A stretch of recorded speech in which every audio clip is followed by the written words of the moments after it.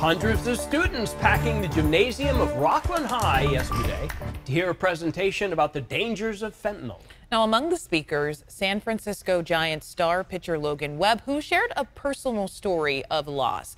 Let's go to ABC 10's Bridget Biorlo. She spoke to him about the message he wants to send. So, Bridget, what does he hope that students will take away from his visit?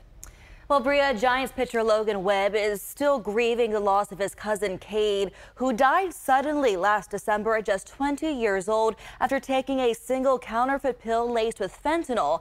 This is a story that is told way too often nationwide. Just last year, the CDC reports 71,000 people died from fentanyl poisoning. Now, Webb hopes by sharing his family's heartache, it makes students take pause before they take a gamble on their life. It's really scary what's going on. Warnings of fentanyl poisoning are messages San Francisco pitcher Logan Webb wishes he heard a little sooner so he could tell his cousin Kade to not take a chance on a counterfeit pill. His smile would light up the room. Um, just him smiling and laughing got the whole room to smile and laugh. And I miss that. Uh, I miss that a lot. Kade died last December, two days shy of Logan's wedding.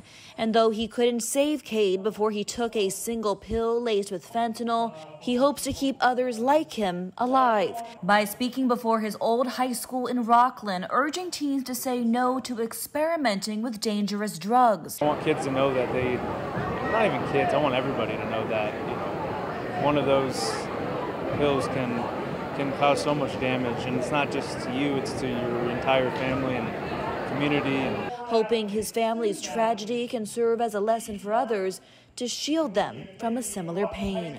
It's, it's just really sad to, to, know that people are dealing with this all the time, and, and, and, and I know that the person and kid that Kade was, and not for him to not be able to to, to grow old and to to have his be with his daughter or be with his girlfriend. It's really sad.